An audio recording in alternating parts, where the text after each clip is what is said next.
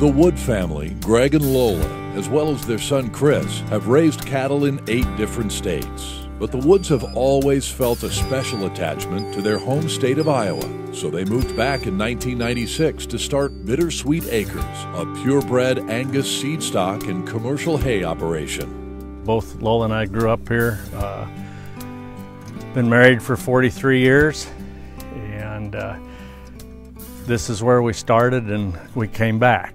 Growing up all over the country, we've run into a lot of different practices of taking care of the ground. I enjoy walking out and see healthy cows, healthy ground, healthy environment.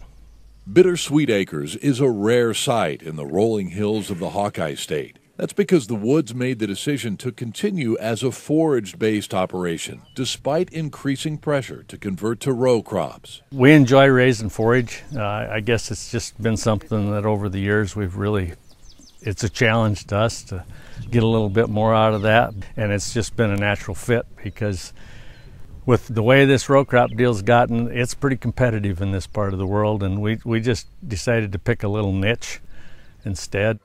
The Wood family works hard to maintain the land and the cattle. They've implemented a grazing plan that provides an optimal balance of grass condition and carrying capacity while still meeting the herd's nutritional requirements. As a result, weaning weights have increased by 10 to 15 percent and carrying capacity by 25 percent. The great thing about the rotational grazing deal is these cows always have some fresh forage. We've been able to steadily increase our weaning weights, and uh, that's without using any creep feed. It's just with forage management.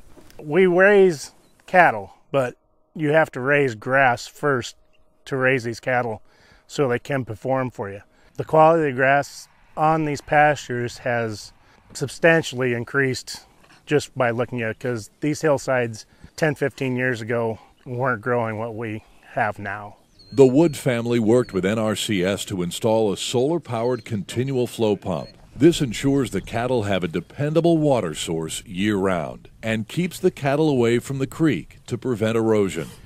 We have a solar project we put in with the assistance of an EQIP program that's been in our pasture system for going on 15, 16 years. It's different from everybody else's. It's not a stock tank filled, it runs continuously.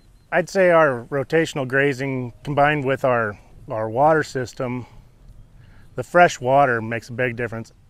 It's just been a, a super savings. It, it saves us on our versus just having them drink all raw water. It would save us uh, over $200 a month on water savings cost versus using rural, water. So it, it's just really great to see Bittersweet um, being able to make a, a profitable operation uh, and, and maintain the resource that we have here.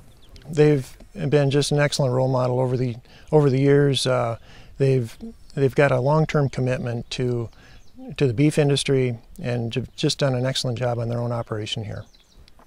The gates at Bittersweet Acres are always open to people that want to learn more about stewardship, including other cattle producers who want to improve their conservation practices. The name Bittersweet comes from the family's belief that they've been able to make it through both the good times and the bad. But they admit working with family has brought them nothing but joy.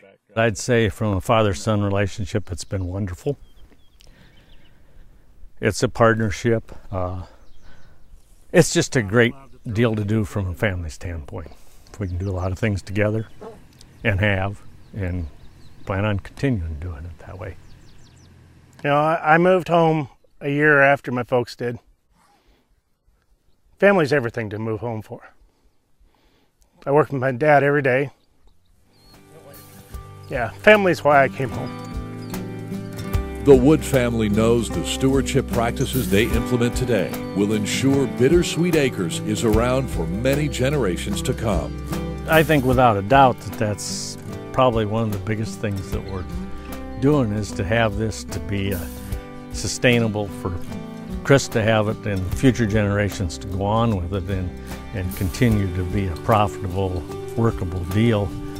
And uh, we're not the biggest deal in the world, but you know, we try to do it right.